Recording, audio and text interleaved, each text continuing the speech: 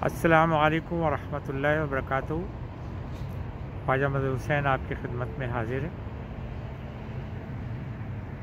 Islamic society of मारखम के love Conor से जी, मैंने इसका नाम लव कॉर्नर रख दिया है इन आज जो मौलाना माज ने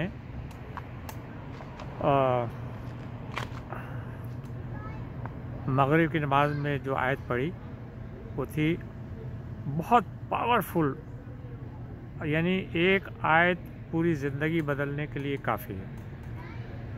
वो आयत थी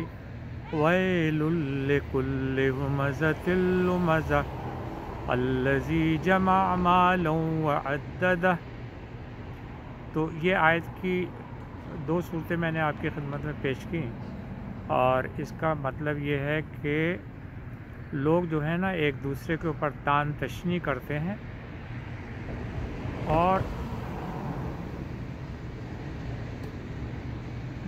माल जमा करते हैं, उनको गिनते हैं और गिन गिन कर खुश होते हैं। ये इसका मफहूम है, जो कि मौलाना शब्बीर अहमद उस्मानी ने तफसीर में किया है कि लोग तान तिश्ने करते हैं, उनको ख़ुद भी नहीं पता अपने बारे में, लेकिन दोन, दूसरे लोगों के ऊपर तान तिश्ने करते हैं और माल जमा करते हैं, करते चले जाते हैं, यहाँ तक कि कब्रों में पहुँच जाते हैं। ये पूरी इसकी मायने है। बड़ी पावरफुल ये आयत है, अगर आप पढ़ें तो ज़िंदगी बदल सकती है इन अल्लाह ताला आप सबको और हमको, मुझे ख़ास तौर से हिदायत अता फरमाए। आमीन सुमान अच्छा दूसरी चीज़ ये, कल जुमरात का दिन है और जुमरात का दिन जो है, वो तबलीगी जमात जो है, गश्त पे निकलती है। मैं तबलीगी जमात का स्लीपिंग पार्टनर हूँ। अल्हम्दुलिल्लाह। आई लव जमात और मेरा बेटा भी गया हुआ है चिल्ले के ऊपर पाकिस्तान। पोता भी जमात में मैं स्लीपिंग पार्टनर हूँ जमात का। अल्हम्दुलिल्लाह। तो जमात के छः पॉइंट होते हैं जिस पे ये लोग तकरीर करते हैं। ये लोग क्या? हम लोग। हम जमात के लोग जो है छः पॉइंट्स पे तकरीर करते हैं। कलमा, नमाज़, इल्म ज़िक्र, इस्लाम मुसलमिन अखलास नीयत, तबलीग दारा कलमा, नमाज़, इल्म ज़िक्र, इकराम मुसलमिन अखलास नीयत, तबलीग दारा तो आज मैं आपकी खिदमत में कलमा पहला जो है पॉइंट उसके ऊपर मैं आपकी खदमत में कुछ पेश करता हूँ। पहला है, ला इला मोहम्मद रसूलुल्लाह। इसमें क्या है कि अल्लाह की पावर का बयान होता है। अल्लाह की पावर के बारे में बातचीत होती है कि अल्लाह की क्या पावर है। अब मैं बताऊँ, मैं सिर्फ़ एक पॉइंट बताऊँगा कि ये जो कहकशा है, कहकशा जिसके अंदर मिलियंस ऑफ़ स्टार्स हैं। उस कहकशा में हम रहते हैं।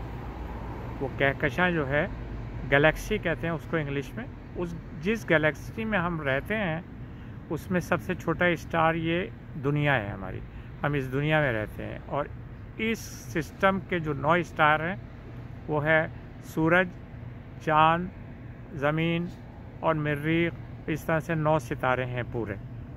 ठीक है? और इस पूरे गैलेक्सी के अंदर थ्री मिलियन या इससे कई मिलियन ज़्यादा स्टार्स हैं।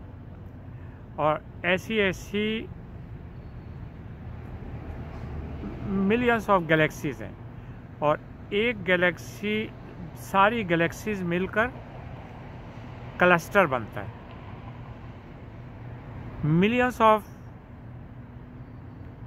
गैलेक्सीज हैं। और सारी गैलेक्सीज मिलकर क्लस्टर कहते हैं। और ऐसी ऐसी मिलियंस ऑफ़ क्लस्टर्स हैं। एक कैकशा से दूसरी कैकशा तक पहुँचने के लिए मिलियंस ऑफ़ लाइट ईयर्स लगते हैं। लाइट ईयर्स हमारे ईयर्स नहीं लाइट ईयर्स लगते हैं। अल्लाह ताला ने कुरान में फरमाया है कि इन सब सितारों को अल्लाह ताला ने अपने हिसाब के साथ बांधा हुआ है उनको।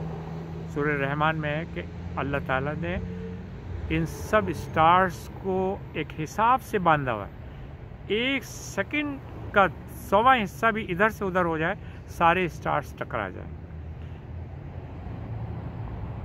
एक गैलेक्सी से दूसरी गैलेक्सी में जाने के लिए मिलियंस ऑफ़ लाइट ईयर्स लगेंगे लाइट ईयर्स तो ये है अल्लाह की पावर